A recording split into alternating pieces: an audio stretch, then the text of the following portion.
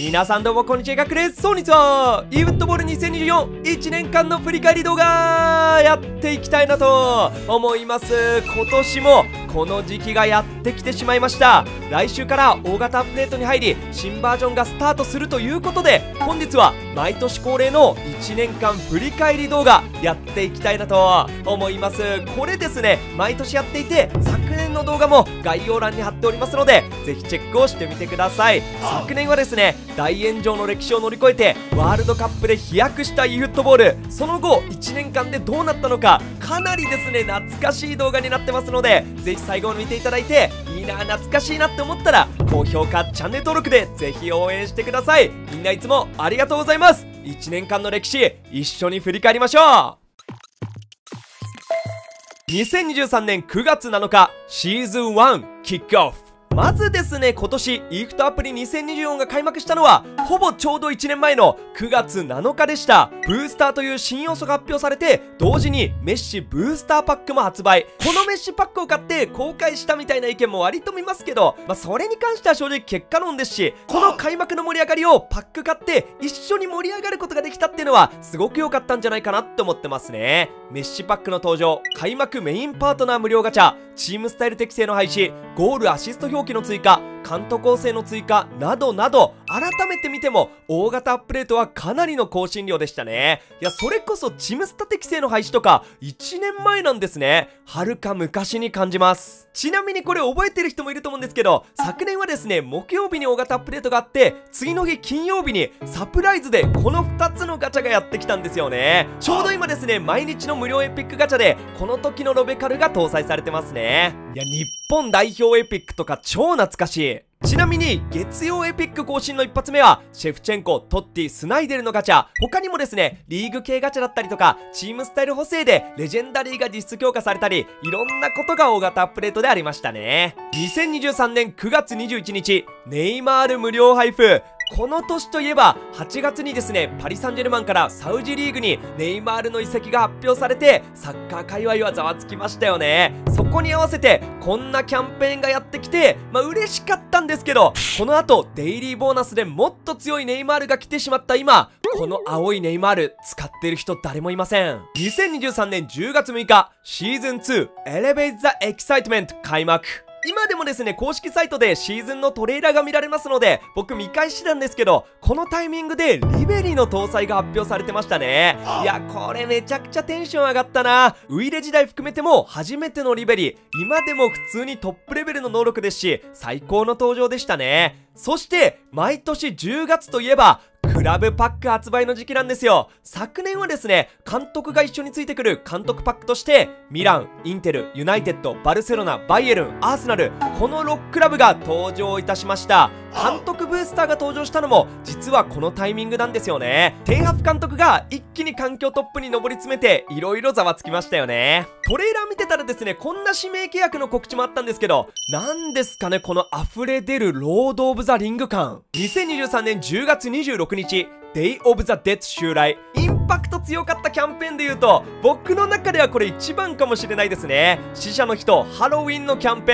ーン。いやメッシにどんな格好させてんすか。いやそれこそねこのハロウィンイベントなんかは季節系イベントとしては初めての搭載だったので今後に期待が膨らむいいキャンペーンでしたよね。この限定ユニフォーム買った人いたらコメントください。で個人的に嬉しかったのはこの PK イベントの搭載なんですよね。ゴールデンゴールだったりタイムアタックだったりただの試合じゃない新たな楽しみ方が増えたっていうのも今年すごく良かったポイントなんじゃないかなって思ってますね。もちろん試合も楽しいですけどオフライン勢とかが気軽に楽しめる要素ってすごく大事だと思うんですよね。2023年11月2日バロンドールメッシガチャ登場。今年一番の神ガチャと言っても過言ではないのがこちらのメッシバロンドールガチャ。バロンドールを記念して史上初の同選手が3名同時搭載。さらに全員特徴が違って全員ぶっ壊れっていう正真正銘の神ガチャでしたよね。一応同時にですねこのゴールドのかっこいいメッシも無料配布されたんですけどそれが全く話題に上がらないくらいエグいガチャでしたよね。メンテナンス待機配信しながらこの画面見た時の衝撃が忘れられません。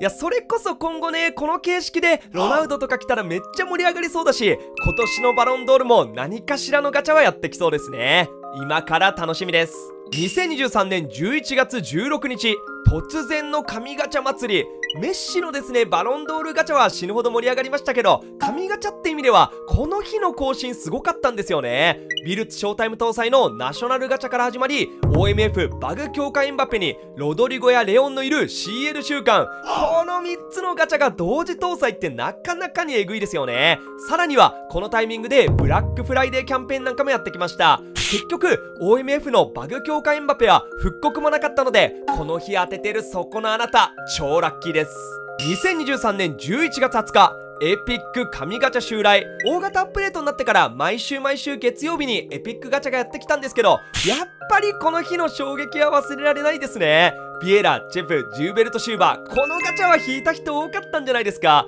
結局ここまで全員当たりのガチャって復刻以外だとなかなか登場しなかったので大型アップデート後こういうガチャが来たらリカキン勢とかでもがっつり勝負していただきたいですね。2023年12月8日シーズン3ユナイト・オン・ザ・ピッチ開幕。このですね、昨年12月のアップデート、めっちゃすごかったんですよね。デイリーボーナスの搭載、マイリーグの搭載、さらには GP で契約更新ができるようになったり、パフォーマンスが1回制限になったり、ガチャ演出が変わったり、かゆいところに手が届く神更新でしたよね。そして、このタイミングで登場したのが、新スキルブリッツカーブ。この画像が出た瞬間テンションぶち上がりましたし、目に見えてわかるスキルだったので、とにかく楽しかったですよね。そして忘れてはいけないのが、現役ビッグタイムの登場。このアップデートの3日後、12月11日に2324シーズンでは、初めての現役ビッグタイムとして、バルセロナが登場いたしました。いきなりこのメンツってバグってますよね。今年もおそらく現役ビッグタイム来ると思いますので、どんなメンツがピックアップされるのか、楽しみに待っていきましょう。いや、改めて振り返ってもこの12月のアップデートやばいですね。お腹いっぱいになるくらい最高のアップデートでした。2023年12月14日、中村俊輔キャンペーン搭載。このキャンペーン個人的にすごく記憶に残ってるんですけど中村俊介氏のこれまでの活躍を称えるキャンペーンが襲来ブースター付きエピックの無料配布さらにビッグタイムガチャの登場。中村俊介選手のファンからしたらたまらない登場でしたよね。あとはフェスティブシーズンキャンペーンとしてインテルやミランのクリスマス仕様のハイライトも配布されました。いやこのメッシが毎回着せ替えさせられてるのじわじわきます。2023年12月25日。年末年始怒涛のガチャ更新。今年はですねクリスマスにサプライズで ACL のショータイムやってきましたね。過去最強ロナウド。これは興奮した人も多かったと思いますね。やっぱりロナウドの存在は偉大です。あとはですね1月1日の日付が変わると同時にエピッククライフのガチャ登場いたしました。いやこのさ12月31日から1月1日にかけていつ更新来るかわからなくて何度も待機配信したの懐かしすぎますよね。結局日付変わると同時での搭載となりました。た。年越しを一緒にしてくれたみんな本当にありがとう。あとはですね、個人的なところで言うと、比較系してディビアン企画が始まったのも、この1月のタイミングでしたね。2024年1月11日、週刊ブースター始動。これもですね、今年のイーフトにおいて外せない出来事だと思うんですけど、このタイミングから週刊ブースターがスタートいたしました。一発目にサラー来たの懐かしいですよね。いや、この予告が来た時、令和ちゃんと萩原りっくんと3人でね、飯食ってたんですよね。めちゃくちゃ懐かしい。さらにアジアカップのガチャが来たのもこのタイミング。日本代表をはじめ韓国ガチャにはラインブレーカー総分民が搭載されたりかなり気合の入ったキャンペーンでしたよね。日本代表ガチャが特に珍しいのでテンション上がりました。他にもですね7億ダウンロードキャンペーンが来たりめちゃくちゃ強い虫荒が来たのもこの時期でしたね。懐かしいね令和ちゃん。2024年2月1日シーズン4ザ・カーニバルバイブ開幕。2月スタートと同時にシーズン4がスタート。ブラジルをテーマに無料ハイライトやブラジルエピックなどが登場。このネイマールは今でもトップクラスに強いですよね。さらに密かにやってきたジーコパックやいろんな意味で話題になった見取り図ウィナーズとのコラボもこの時期。個人的にはこういうの大賛成ですけど SNS は賛否両論って感じでしたね。あとは続々と現役ビッグタイムも登場していてミランから最強レオンが爆誕いたしました。みんなこの Lunar New Year キャンペーンを覚えてる？この小学校の裁縫セットみたいなユニフォーム意外と好きでした。2024年2月22日 J リーグ開幕キャンペーン。2月末は J リーグ開幕キャンペーンが襲来。エピックガチャに加えて各チームからのハイライトが登場。さらに移籍反映もされてキャンペーンもやってきたり盛り上がりましたね。同時にですね毎月の月間 MVP とベストゴールの選手がガチャ搭載されることも確定。この取り組み自体はめちゃくちゃいいと思うんですけど個人的にはブースターがトータルパッケージじゃなくて普通のブースターとして来てくれたらもっと盛り上がるんじゃないかなって思ってますね。2024年3月7日シーズン5ドミネイト・ザ・ゲーム開幕。3月頭は新たなシーズンが開幕。特にこのタイミングで何か大きな更新があったわけではないんですけど新アイテムが登場するっていう告知があったりそれが何なのか色々と話題になりましたね。個人的にはこのガルナチョめちゃくちゃ好きです。2024年3月21日1年に一度レベルの超大型更新が襲来。さっきですねシーズン5になったタイミングで特に大きな更新がなかったって言ったんですけどこのですね3月21日すごかったですよね。まずブルーロックのコラボがやってまいりました。まあいろいろ言われてましたけど個人的にはかなりいい落としどころにまとまったんじゃないかなって思ってますね。アバターコラボ選手インザギパックキャンペーンなどなど超盛りだくさんでした。そしてあと2つ大きい更新があってポジション適正追加アイテムの追加とポジションエディット機能の追加。この2つは e フットボールを大きく変えたと言っても過言ではないぐらいすごい更新でしたよね。間違いなく楽しみ方の幅が広がりました、まあ、あとはですね細かいところで言うとアプリのフレンド機能が復活したりとかアーセナルの現役ビッグタイムが来たのもこの時ですね。ちなみにこのタイミングで僕は比較系 FC で DB1 達成しました。めちゃくちゃ嬉しかったな。2024年3月28日配信者団体戦3年ぶりの復活個人的な出来事で言うと3年ぶりの配信者団体戦もすごくいい思い出ですね。新たなメンバーも加えてワイワイやってやっぱりドラフト会議めちゃくちゃ楽しいなって思いましたね。大型アップデート後もどっかのタイミングでやりたいですね。2024年4月11日シーズン6ブリング・ザ・エナジー、ブリング・ザ・ノイズ開幕。この時、ラームが新たに告知されたのが話題になりましたけど、なんといっても、シャビ・アロンソ監督の搭載ですよね。今でもショートカウンターでは最強だし、おそらく一番使われてる監督なんじゃないですかね。今はチームスタイル適正88が最高ですけど、大型アップデート後は90とか92とか出てきそうです。あとはですね、4月で言うと、ロマーリオの50ボックスだったり、インテル優勝キャンペーンなんかもやってきましたね。いや、優勝キャンペーンもね、告知があったんですけど、なかなかライセンスあるチームが優勝しなくて、全然来なかったのも懐かしいですね。2024年4月25日、7.5億ダウンロードキャンペーン襲来。7.5億ダウンロードキャンペーンでは、レバンドフスキなどが無料配布。突然ですね、バロンドールメッシガチャが復刻したのは記憶に新しいですね。ちなみに、このメッシのサイン入りキャンペーン、当選した人っていますか ?2024 年5月16日、アプリ7周年キャンペーン。アプリのですね、7周年キャンペーンでは、無料で74回ガチャが引けるキャンペーンが登場。アイコニック仕様のハイライトだったり、ベッケンバウアーエピックを無料で手に入れることができましたね。今の毎日エピックガチャもそうですけど、シンプルにガチャたくさん引けるってすごく楽しいですよね。2024年6月13日、シーズン7キングオブザコンチネント開幕。だいぶ最近に近づいてきましたけど、今年はリーグ戦お休み期間にユーロとコパアメリカが開催されました。そこに合わせて国代表のキャンペーンが襲来。この更新もすごかったし、トレーラーのサムネが個人的には大好きですね。まずは、なんといっても、アルゼンチン、フランスを代表する激アツパックの搭載。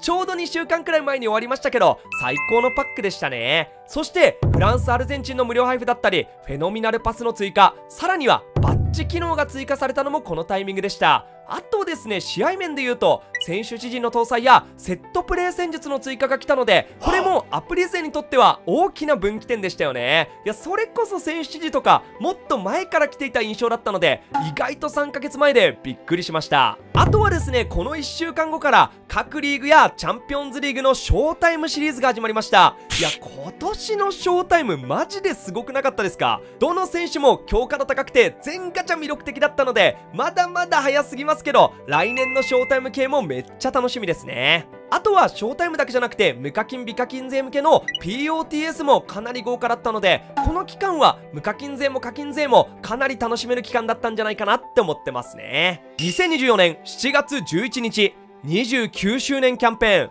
ウイニングイレブンシリーズ29周年記念として好きな選手を1人選べる面白い企画が登場。これめっちゃ良かったですよね。自分の好きなタイプを取ることができるし他の選手取れないっていうのがめっちゃ悩みますので今後ね他クラブで来てほしいんですけどね。他のメインパートナークラブでの搭載めちゃくちゃ期待してます。ちなみに今年の大型アップデートで選手の契約期間の廃止が発表されたのもこのタイミング。ついに大型アップデートの足音が聞こえてきましたね。2024年7月18日代表組優勝キャンペーン。今年ユーロやコッパが終わったタイミングではスペインアルゼンチンの優勝ハイライトが登場。やっぱり優勝系のデザインかっこいいですよね。あとはサプライズでプラティニが登場いたしました。たまに来る木曜エピック。これが不意打ちで最高なんです。2024年8月13日シーズン8ザ・カーテンレイサー開幕。ついにですね今のシーズンまでやってきたんですけど今年のリーグの開幕に合わせて新シーズンが始まってトリプルセブンキャンペーンやピレスの新パック。さらには夏の移籍ガチャも登場いたしました、まあ、正直夏の移籍ハイライトは物足りないところはありましたけどショータイムまでサプライズで来てくれたのはテンション上がりましたよね。さらにですねまさに今開催されていますが新シーズン開幕直前スペシャルとして毎日エピック無料ガチャ開催中となっております。はい、ということで、ここまでで1年間の更新振り返り終わってきたなと思います。皆さんいかがだったでしょうか？ぜひ皆さんの中でも、この更新印象残ってるとかあれば、コメントに残していただきたいなって思ってますね。で、最後にですね、僕の中でこの1年間を振り返っていきたいなと思うんですけど、2022年が炎上、2023年が復活だとすれば、年は飛躍の1年だったんじゃないかなって思ってますね。まずポジションエディット選手の指示などアプリ版のですね試合面もだいぶ改善されましたし新スキルバッジ新イベントさらにはブルーロックとのコラボなど新たなチャレンジもめちゃくちゃ多かったと思うんですよね。まあ、個人的にも一緒にですねコナミさんとイベント開催させていただいたりとか今までになかったことが多く起きた1年でもあったと思うんですよね。さらに当たり前になってますけど毎週のリーグ週間月曜エピック現役ビッグタイム CL 週間に関しても